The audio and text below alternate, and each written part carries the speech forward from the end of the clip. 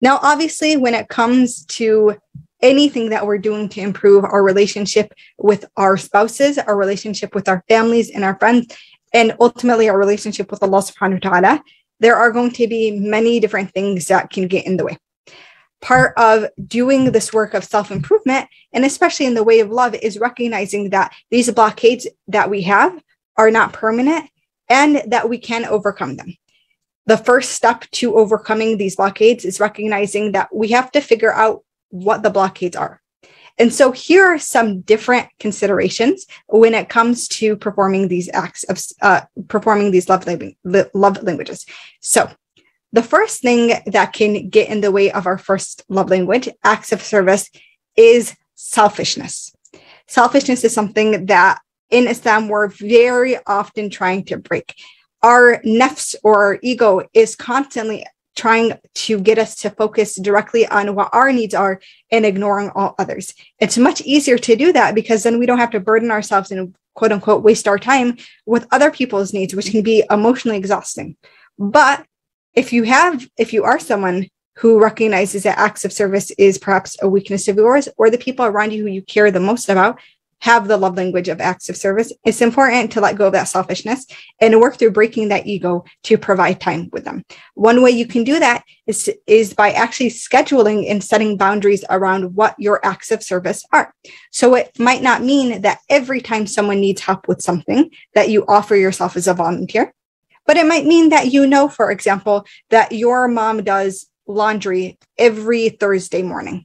Well, you make it a point that if you are available Thursday morning, then you're going to help with that. Maybe help load the washing machine, maybe help fold the clothes afterwards, whatever it might be. Scheduling in those acts of service can make them much more manageable and help you to, on a very consistent basis, speak that love language to the people you love.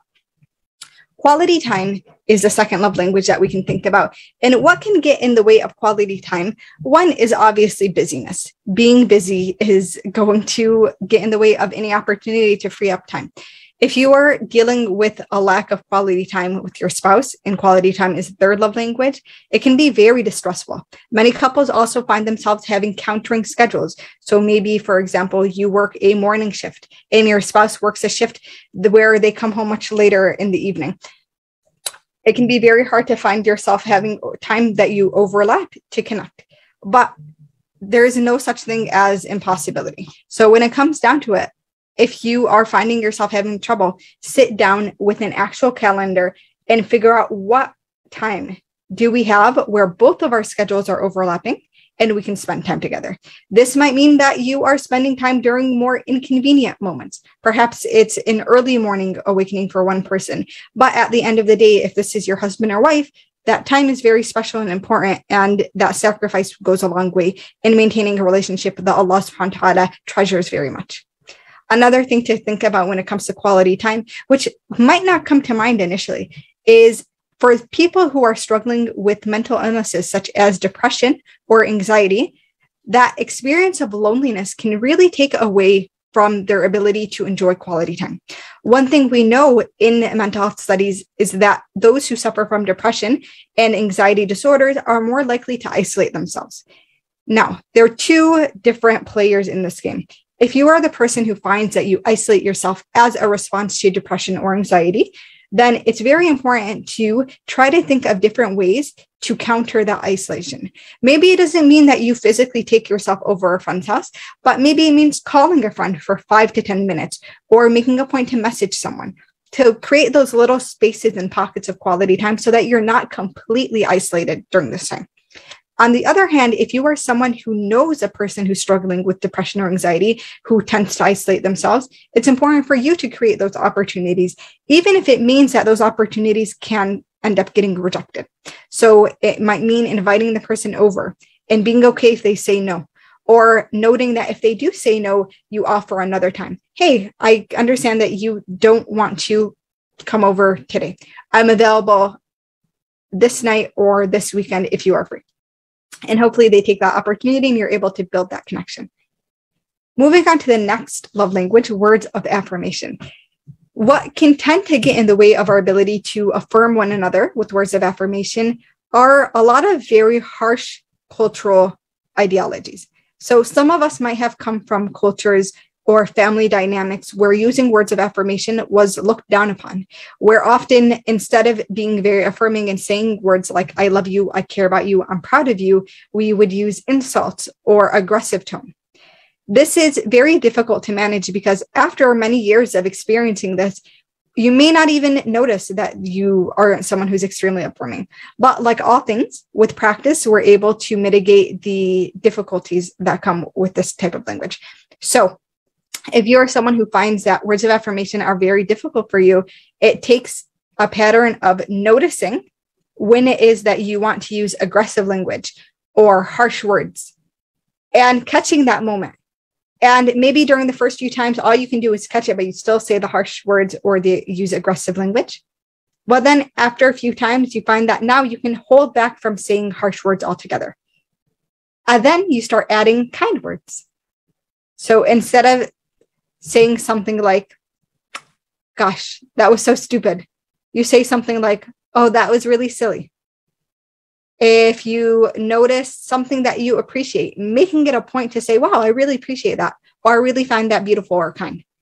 So these are opportunities, just like anything else, to use the process of conditioning to make words of affirmation a greater part of your language and ultimately a greater part of your life. And you'll see a lot of benefits that come from that. When it comes to the love language of touch, there are two major considerations of what can get in the way of your ability to speak this love language. One is similar to words of affirmation. Perhaps you grew up in a culture or in a family dynamic where touch was just not something very common. You guys didn't hug very much in your family. Or if you ever did try to hug or kiss someone in your family, you kind of got pushed away. And that can make it very scary to try to endure that in the future. And we might find ourselves saying things like, I don't need touch, or I'm not a very touchy person.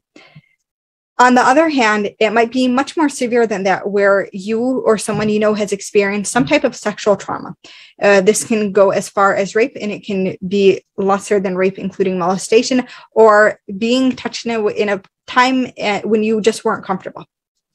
Sexual trauma can be very difficult to manage. And I do recommend very highly if you are someone who's experienced sexual trauma and you're finding that this is getting in the way of you being able to express touch as a love language, especially to a spouse, then you take the time to find someone who you are able to work through with this, specifically a counselor, counselor or a trauma focused coach. The last love language that we are going to talk about, inshallah, is gifts. What can get in the way of gifts? So, first and foremost, because of our typical idea that a gift has to be something monetary, not having much money can definitely get in the way of gifts. And this is a very practical consideration. Another thing that can get in the way of gifts that often we don't really think about is you just might not ever think to get a gift for someone if it wasn't again a part of your culture or family dynamic then getting gifts might seem to be a little more burdensome because it's something you have to actually go out of your way to do. You have to get up and go to the store. You have to go online and order something or you have to make a note that while you're walking or in out and about to think of someone and say hey i'm going to actually make the intention to get this item for this person when it comes to that difficulty honestly, my best advice is create little reminders in your calendar or your phone to buy something. If you can, and if you're someone who budgets uh, uh, with a weekly or monthly budget, create a small little budget for gifts and use that budget to decide how much you're going to spend on gifts for the people you love. Create a list of who those who are deserving of gifts are in your life. Perhaps it's someone who's a very close friend to you. Maybe you're married and that's a person you're going to decide to give gifts to. Another thing to think about is create a list of different gifts that you can offer to people. Gifts don't have to be monetary. It might truly be something you have in your home that, for example, you don't find yourself getting a lot of use of, but you think someone else can get much more use out of it. It can be something that was meaningful to you that you you made. It can be a picture that you printed out at a local pharmacy or a local photo store and you get it framed and you give it to someone. There are so many different options for gifts to show that you are actually thinking of someone.